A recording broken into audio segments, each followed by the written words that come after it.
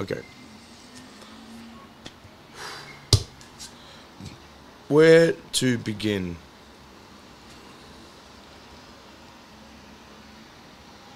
Alright, so I think it's time to address the whole Joker thing. And I'm going to do this to the Budapest community and to the Australian community, I guess, and other people around the world who know who I am and are aware of my past, are aware of my past identities, and are aware of the impact that a movie, a piece of art like the original Joker, has on me personally. And possibly other people out there, can't speak for them, can only speak for myself. So, I'm gonna do this in the form of a review slash kind of like a call to action or a slash commentary on the reception of the sequel, Joker, Folie Deux. I've seen and heard most of the media commentators, aka middle aged fucking children, who scream and shout about their franchises from the 80s being destroyed by uh, Disney and stuff like that. All of those YouTubers, Critical Drinker, fucking um, Angry Joe, haven't heard from Red Media yet. But even Mark Bernardin and, and Kevin Smith, Kevin Smith, really his opinion is kind of like fucking moot anyway. Um, and the people in my community, my own community, have all been saying one of two things. One, that the movie ultimately fails and disappoints. And the other half of people's reactions when I ask people in my community whether, what they think of the movie is, oh, I heard it's really bad. So, they haven't seen it yet. But they've seen these, the, this, this mass media fucking reaction and they've just basically not bothered to go see it because I don't think, A, they can fucking handle what it's trying to say and what it does say. And I'll get to that. But it's just another case of misinformation causing an entire community of people, a society of people, to A, avoid and B, not confront the issues that the film highlights about mental illness, about identity, about celebrity, about uh, golden calves and fucking um, martyrs.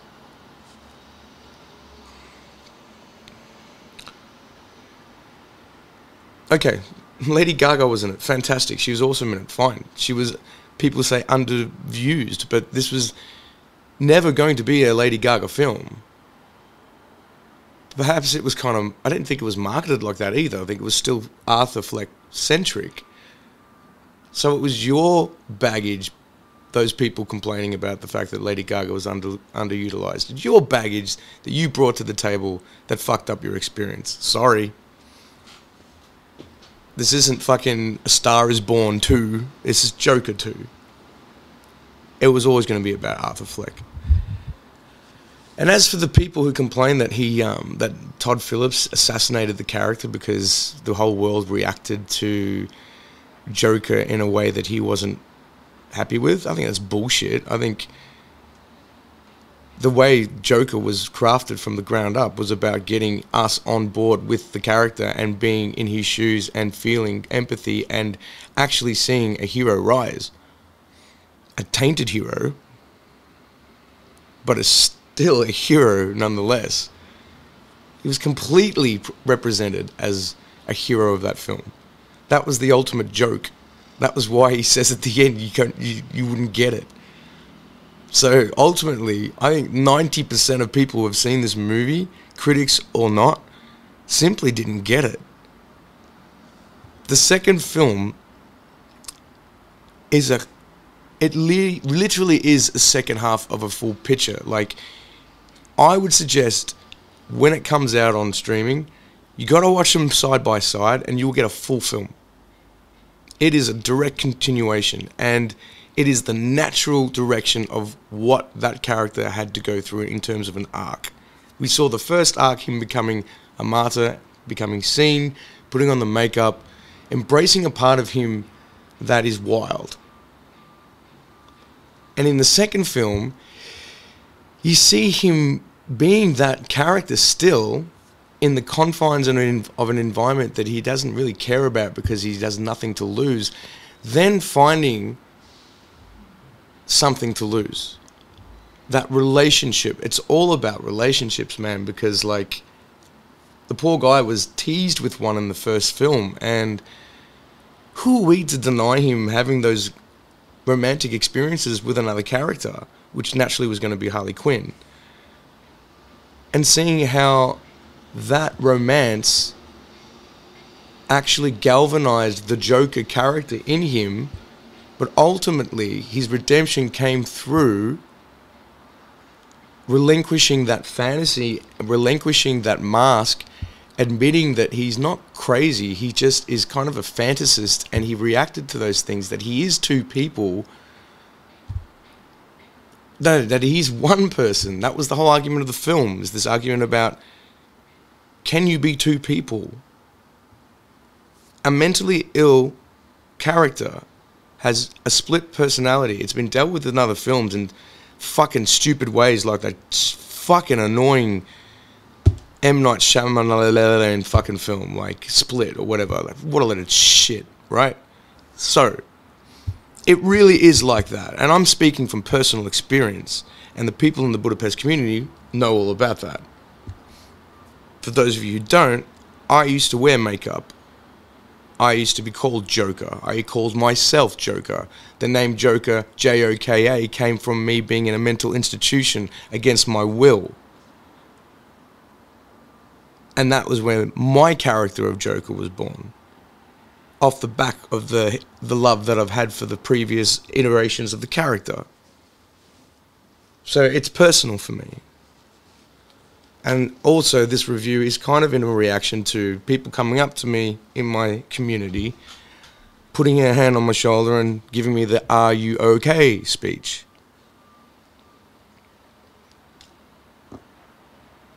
Oh, you saw the film. What did you think? Are you okay? You, are you okay? Are you okay? Like they're talking to a dog that's about to bite. And then I ask them, Have you seen the film? How do you think I would react? And their answer is, No, I heard it's not that good. then I kind of say, Well, what can I say?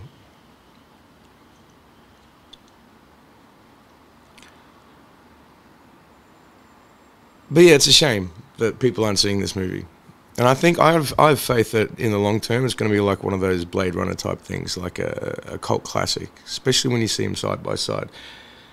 Um, the ending, you know, when Mark Bernardin says like, you know, why didn't anyone look at the script when you know when he was when they were funding all this money? Everyone talk, talk they all all people do talk about budgets these days. So what? Okay, the budgets are big for fucking Disney movies.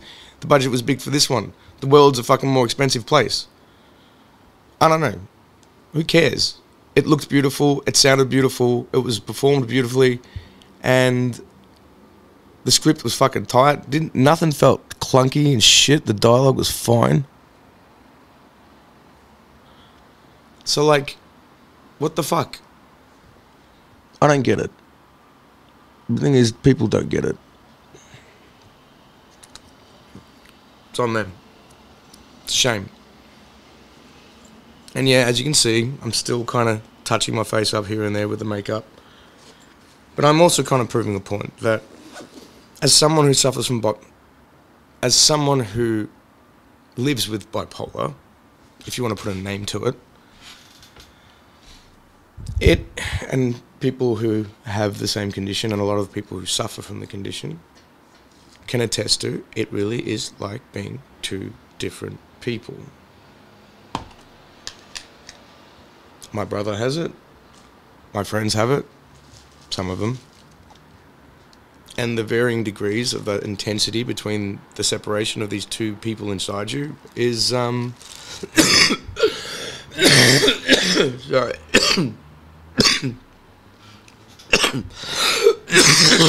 um, Joker laughs, I cough when I start getting emotional, excited slash passionate, and ultimately when I'm rolling a cigarette. So yeah, go figure. Anyway, back on track.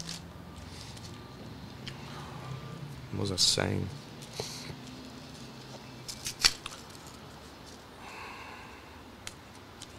So the film itself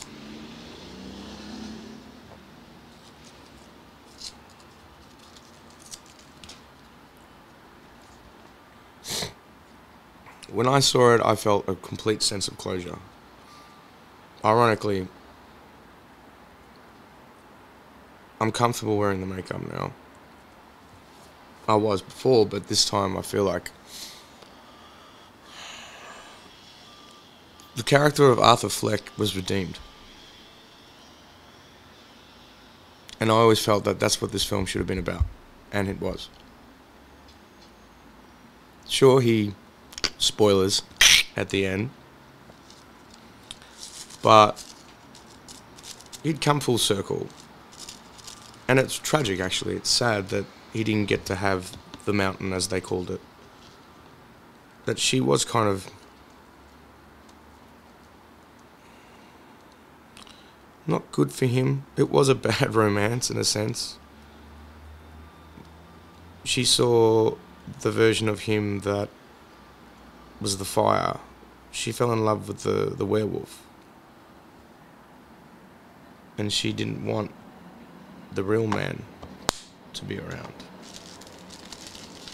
It speaks volumes about how people choose relationships with other people and then try and coax the the dangerous side of them out just so they can feed their own needs.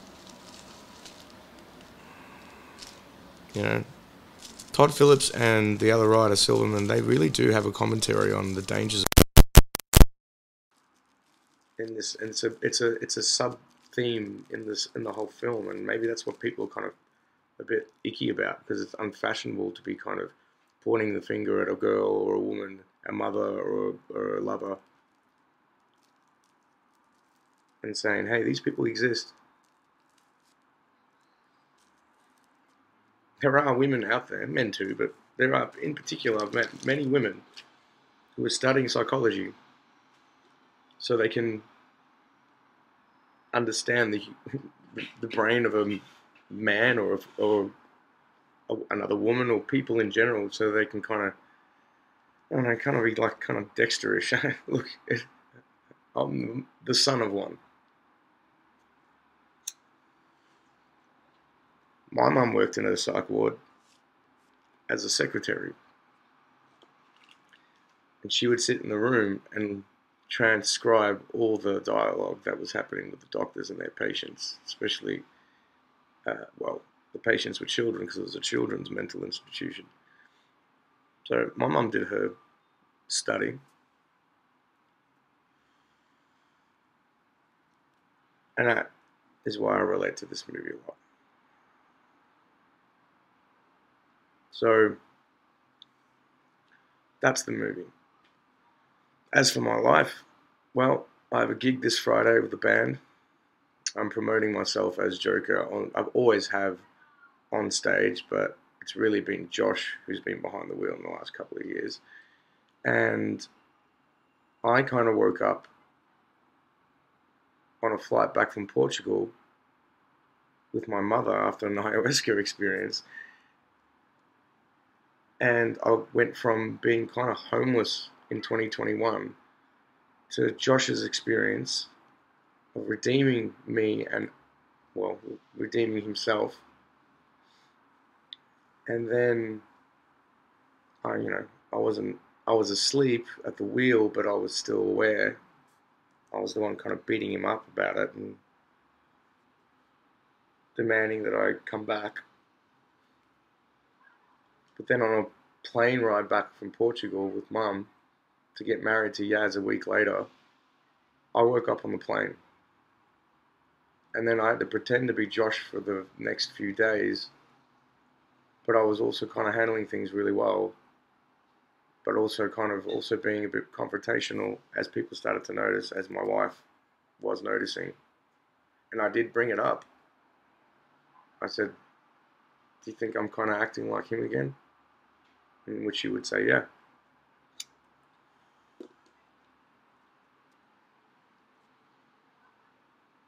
And yeah, I got married on a boat with the love of my life.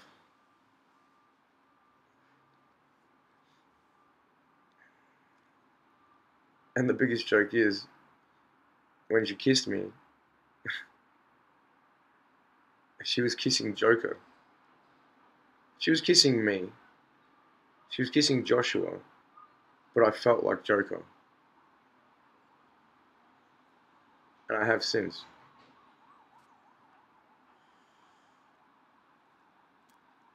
People say, "Nah, I see you as one person. That's who I see you as," and they say it almost in a kind of uh, uh, sympathetic or empathetic way when they don't understand that. For me, it makes it more feel and make more sense in my life to consider that I am one person with two states of energy, and energy sculptures behavior, thinking, morality, not morality, but like courage and confidence. And these energy states swing with people like me. And a community has to be in love with both of them or be tolerant of both of them or be understanding of both of them for that one person to exist, coexist in that society. And that's tricky for people because you don't know what you're dealing with. Hence why when I wear the makeup, you do know who you're dealing with. People ask, Yasmin asked me the other night, what does this mean now? This is a flag. This is a, you're not talking to Joshua as you know him or as you know of him. You're talking to Joker. Fucking Budapest, fucking sirens. God damn it.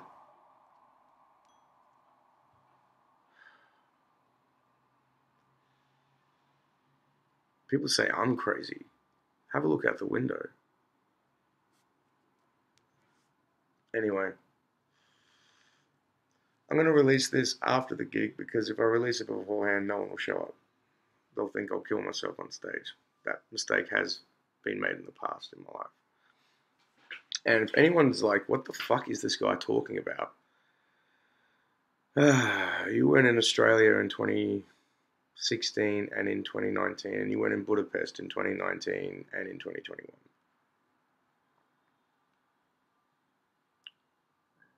people still call me Joker. But they're saying it differently this time.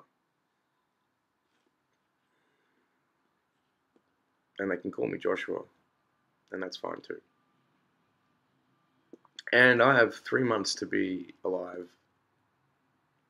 I'm not killing myself. But me, as this energy, will go to sleep in a few months. I'd say Feb. So I'm on limited time and I might come back. I will come back down the track. Life finds a way. But there's a tax to being like this. And my goal is to kind of do what Arthur Fleck did, which is the kind of just. No, actually, the opposite.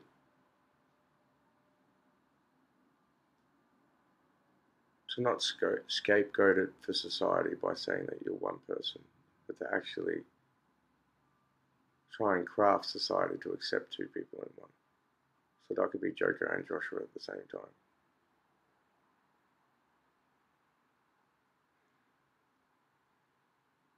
So in that regards, I do disagree with the movie. But still.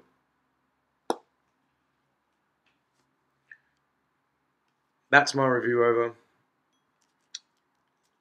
Fucking you other cunts can suck it in terms of you critical fucking drinkers and you fucking angry joes. Especially you critical drinker, you fucking hypocrite.